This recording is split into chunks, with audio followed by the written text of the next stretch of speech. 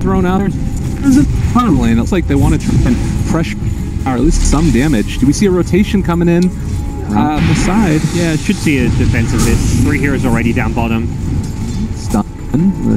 Already down the crush. Oh, able to get dodged there by the snowball and the well, secondary sh- as well. First blood is going to be drawn. Highlight. Bench and the initiation of the axe is something to fear. How can he do that another time? No, it's not going to happen. They find the kill. Puppey? Uh, Okay, maybe he's going back and it did spot him out. Yeah, Puppey will walk into him.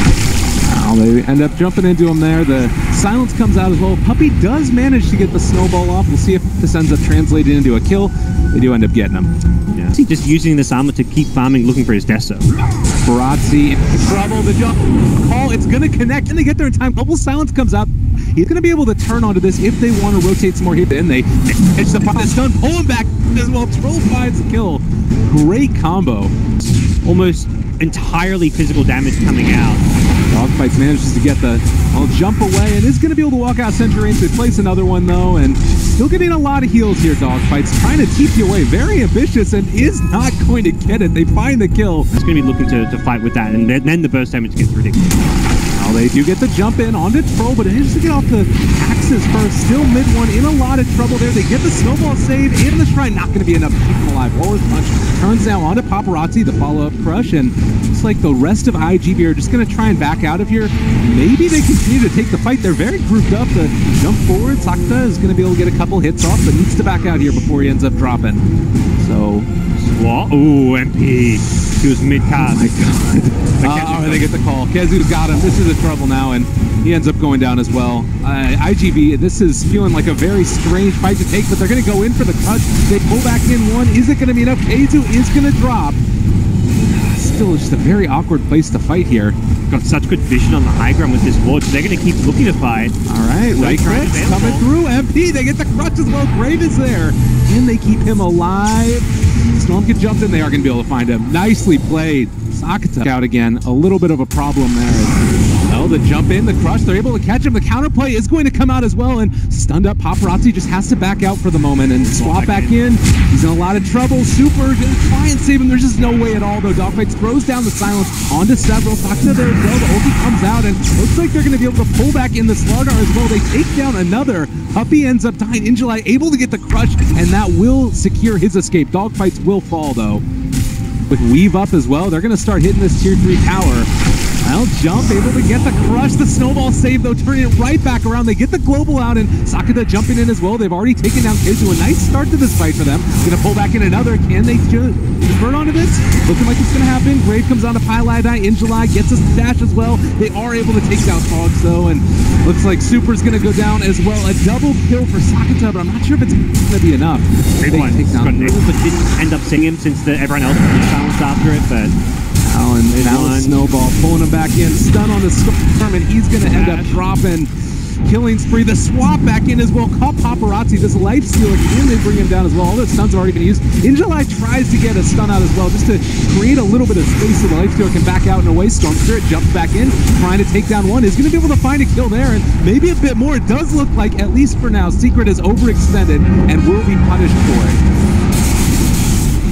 Seem like with the buyback and the low respawn on the storm, they'll get a key couple of kills here. That I mean, feel like they're the stronger team. Oh no, and just walks into a sentry ward. You, you got to do this as Ricky. Make moves around the map to try and open up a little bit of space for your team.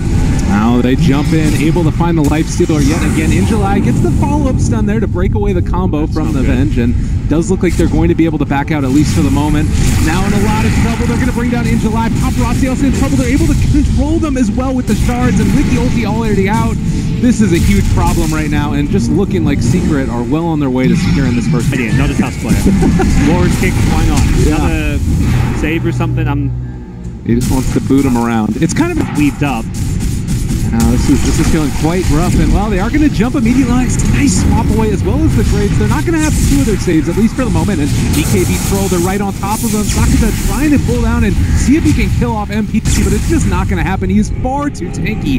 Two already dead for IGV, and Secret just going to storm the high ground here. No regard for IGV's life. And good game all played done comes out. It's over. Well, Uh, well executed. I like their approach as far as having the the last control wall really brought everything together.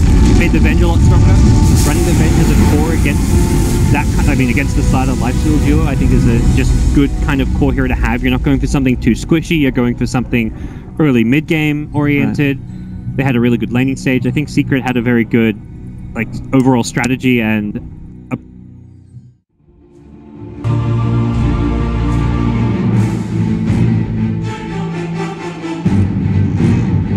against the the Batrider, the Lone Druid, but of throwing out in the mid game as Pieliedie tries to go for a couple of uh, camp takes there, but it does look like, at least for the moment, the Sand King, he took a lot of damage there from all of those spirits. They're going to pull back in as well.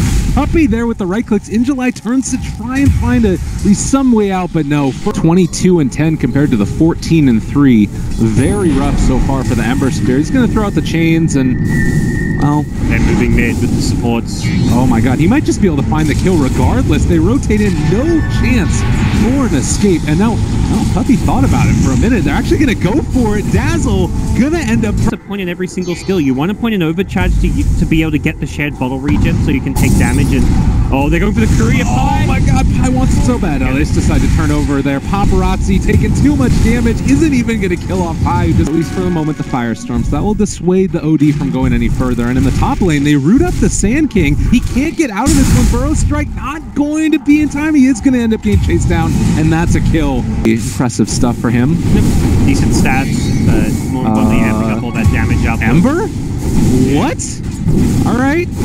Didn't see to, to be sure on that. May have just been a misplay. Relocate top. top. They're going to be going after him. Sand King wants his Blink Dagger so desperately and is just going to be... be having like Hood soon. It looks like he's cube one up, so there's going to be magic resist, but you've got to fight around those items. Losing Super here would be pretty unfortunate. Looks like they actually want to try and turn onto this one. Weave is down onto a couple as well. They're going to jump forward there. Oh, that's not going to be a bit of a problem. Ember Spirit ends up dropping. They turn now, trying to take down the Underlord. He's going to die as well. And when you've got a, a, a safe lane carry that doesn't need help, oh, five. Yeah, there, there's the same Eclipse. And, and he, down bottom. This mm. is going to be supported by a relocated thing. Yeah, they jump in there. It's going to well, wait for it, at least for the moment. They jump out. They are be able to catch on to InJuly. He's going to die once he comes out of the grave. Super now slowed down as well. Veil on top of them. Wicked six streak, a double kill, MidOne, no mercy. Uh, one entangles all it's going to take. Oh god, this is so frightening. Paparazzi just wants to run away, wants to go back home, and well, not the first hit route at the very least. Frame break gonna push him back. They haven't gotten any roots here, but honestly, it doesn't even matter. Yep. Take down the shrine and move across the map to the other side to relocate in. Paparazzi is going to pop that BKB, but they actually relocated in with the Batrider to make sure they could take him down. Really good decision making there, and Paparazzi is going to die.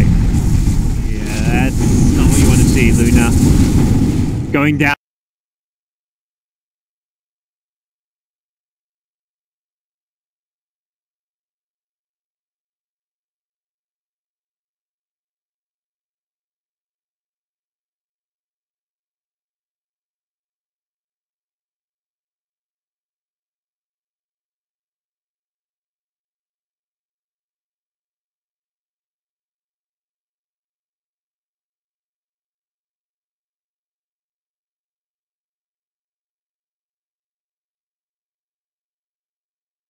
Definitely the kind of form you